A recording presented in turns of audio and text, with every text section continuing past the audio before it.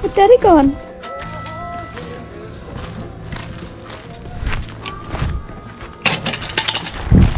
Ruby. So we've just been walking Little Ruby Rose and I found a nice piece and Kenny's going to kindly dig it out for me. Aren't you, babe? Yeah. But it's probably not a piece. It's probably more like a block.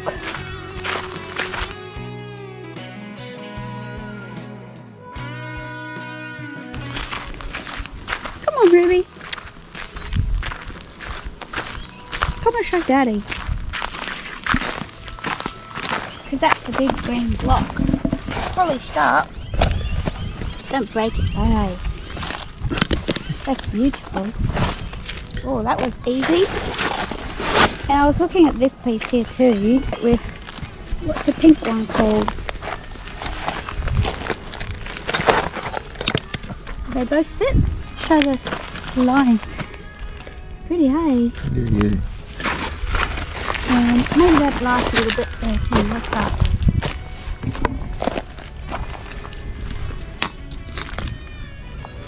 It's got little thunder eggs in it. Can you look?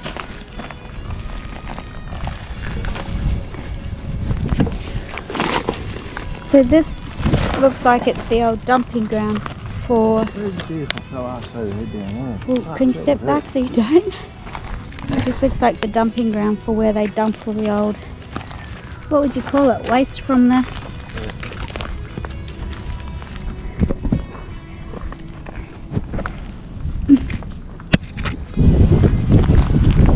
Because there's little thunder eggs and that in here.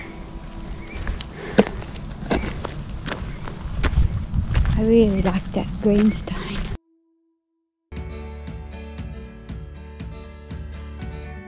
See, this is this, this is coming out of the casting. Yeah, See? It's all rough and daggy, yeah. and all that sharp. Yeah.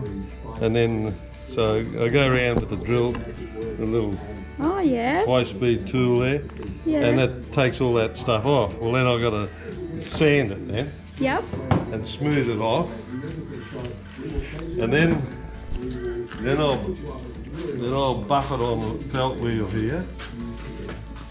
And once I've buffed it, then I paint it with an acid solution to put make black on, black on it. Yeah. And then when they're There's a lot of work involved, isn't it? yeah, and when they're finished, Oh they look, yeah. huh? So the black highlights all the shadows. Yeah, yeah, yeah, yeah. And they're wow. for the beef first, eh? Yeah, these are drought masters, these ones. And then these ones here, there's uh, Brahman. these ones I do. do- I'm doing, doing these for the council.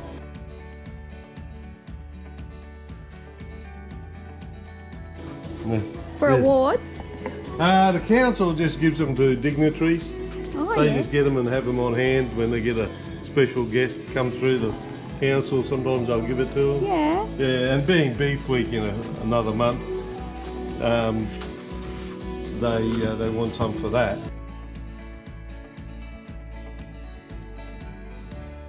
You know, Oh, but they have them on hand. But yeah, then we mount them on these timber bases. Go through the process. Yeah. Yeah, but you're doing more than one at Yeah. a time. Yeah. So they're definitely worth the money, hey? Oh well, yeah, just, yeah. That one's a Hereford, that one there, Yeah. and then these are Brahmans, and then they're drought masters. Yeah. So did you have cattle on There's your a- property? No, no, there's a little Bra- Brahman there. That might be a better one for you. Oh, that's so cute. I'll show you. Uh, yeah, when you when you do the, that's these are cast, right? So to make a mould, we have the original. Yeah. The original model is created, and it has whatever you want the thing to be oh, on it. okay, righto. printed in there. Yeah. So yeah, so the artist made that up. He would have carved that out of a block of wax, okay. and and all that Yeah. put on. You know, Wow. he did all that, How much that one? and uh, yeah, they're seventy five. Yeah. All that hard work and you're an artist, we should get it, hey? our, our artist is um, he's gone now. He passed away. He, he, he was doing them. He was doing models for us right up until he's oh he's late eighties. nearly 90 years of age. Did know? he live here too? In Rockhampton and, Yeah. and that he did, yeah. Oh, he was great, eh? Like, like he had the artistic flair. Like he created that, he carved that out of a block of wax. A little digger. Yeah, the miner. Wow, such tiny That's- little work. Yeah, yeah, yeah. He, he even in his 80s used to take the centres out of golf balls that have got a high density type foam in them Yeah. nowadays. Yeah. He got, he got that little ball and he'd carve them with a scalpel. Yeah. Incredible stuff, Yeah. eh? And such fine work. Yeah, yeah. And, and yeah, you know, he was bloody amazing, eh? Oh, he just had a flair. Yeah, yeah, yeah. You know, and Oh, that's God the thing. bless him. Like, I mean, I couldn't create that. For, for, for the likes of me, I couldn't carve that out of a block of wax Yeah. to get that, I don't reckon. Yeah. Yeah. But, uh, you know, he just, yeah. What was his name? Uh, Bill Manion, it's usually, Bill Manion. yeah, it's on there. Bill Manion, Oh. 1999. Good on Bill. Aradon is our company, Aradon. and uh, and Bill Manion. He, if we get his name on him, yeah. Thank you. What's Yeah. Aradon? What, Ah, it's just a company name. yeah. Yeah. Oh, yeah. So the pewter, i- i- it's not carcinogenic or anything for you? No, no, no, no. Um, this is how we buy it. Oh wow. Uh, yeah. So that's, yeah, that's got some numbers stamped in it, and that's the mixture. Because pewter is, is an alloy. You don't find pewter in the ground. It, it's made up. Right? So it's 93% of it is tin, 6% is antimony, and 1% is copper. Oh, there you go. And they alloy that together to make. This is what you call lead-free pewter. Yep.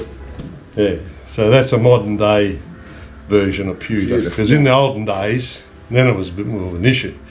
Back way back in the mm. early days, it was tin and lead and whatever else they threw in, but mostly tin and Yeah. lead, you know. Yeah. Well, they used to drink out of the wine goblets they made and all that, but they'd have their wine sitting in it. Well, with the lead in there, that mm. became toxic. Yeah. So they were poisoning themselves. Yeah. Yeah, wax model. That's the first thing. Well, then there's that miner you were looking at there. That's actually bronze. That one. Yep. So that wax model was carved in in this special wax they use. They use it to, to make jewellery in, in the technique of called lost wax casting, because that wax model they make a mould that fit around it, and then they melt the wax model out. So you've got the cast of where the wax was, Yep. and that's what's called lost wax. Right. Okay, so that's how this is done, and um, that's some of the stuff they use there, that plastery looking stuff there. So that would have been encased, Yep. and then uh, and then what they do, they melt the wax, wax out and vacuum it out, suck it out, and then they pour metal in. Yep. Well, we got we get bronze Yep. because we use the bronze as our master model to make a mold, Yep. and we make the molds ourselves. Here, that's it and that's done there, and that's a hydraulic press Yep. Because mold, the mold is actually um, rubber, and we buy that rubber uncured, meaning raw in a sense, and it has to be cured. Well, you do that with heat. Yep. So to make a mould and keep it all neat, tidy, and contained, because your model goes in between there. See, Oh yeah. that's a buckle one.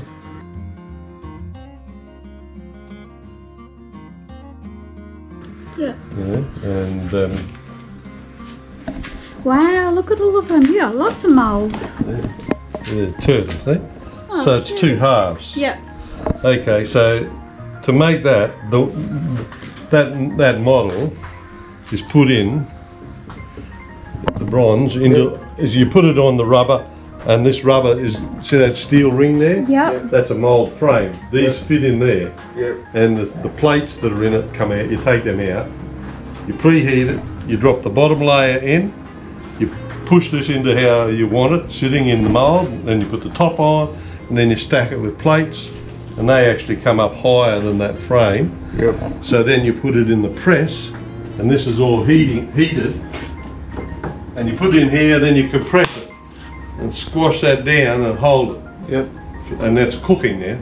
So that'll cook for a couple of hours then to, to cure the rubber. And it doesn't melt it. No, no, it's silicon. And um, and so that sets it then. So then when you pull it apart, you take your models out, and that's what you've got. There so you then go. we cut these, what we call the sprue, Yeah. we cut them in, Yeah. so that when we pour the metal, this goes into Take it out and work with this goes into that machine there then. Yep. Yeah. It's the casting machine. So that's careful, that's hot. Yep. So this is the casting machine. The mould goes in here and gets locked into place under that. Wow. So that lines up with the hole in the centre of the mould, see? Yep. And the metal drops in when you pour it. So you take that ladle there. It's a lot of steps to it, eh? Just- I'll just block you for a sec because that's hot and putting that in there if there's any moisture on it.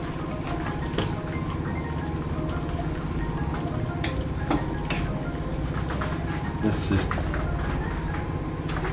taking up heat now. Wow. I'll get a mould out. in a minute. We worked that at 270. Wow. So And how long does it take to melt? a, a good hour to get it melted. Like percolating coffee. Yeah.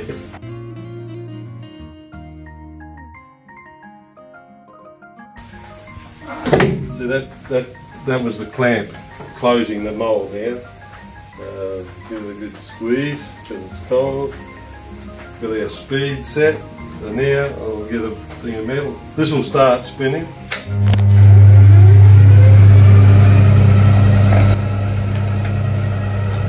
Move it over.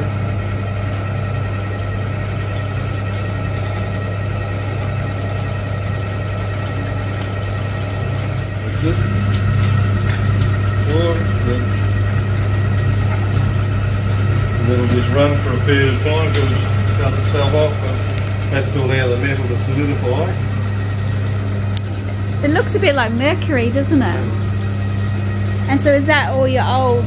Uh, that's skimming off the top. Can you Look at- we reuse can re- that? Yeah, we can redo that. Even that, even that down there. I mean, I could say, well, they can send that back, and they they could they'll get metal out of that. True. They'll retrieve the metal out of that. Oh. But that's because when, because see here we're using talc. That's to dust the rubber on the mould, so, so it stops the, the metal burning and. Oh, yep, and yep. that. So now, just undo that.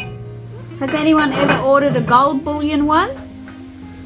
Uh, gold. Well, we used to do gold, but we've stopped. Yeah. No.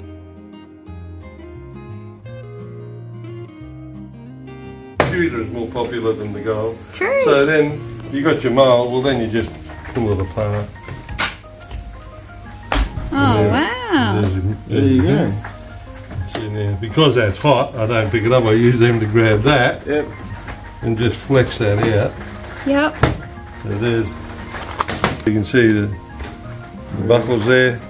Now, if we look closely, it's probably a bit grainy because that mould was cold, Yep. and sometimes there's little cold spots in there. So you know, I wouldn't use that that one. I'd put them back through and yeah, Yep. just For quality oh. control? There you go. Oh, that's, start, start again. that's excellent. Thank you. Yeah.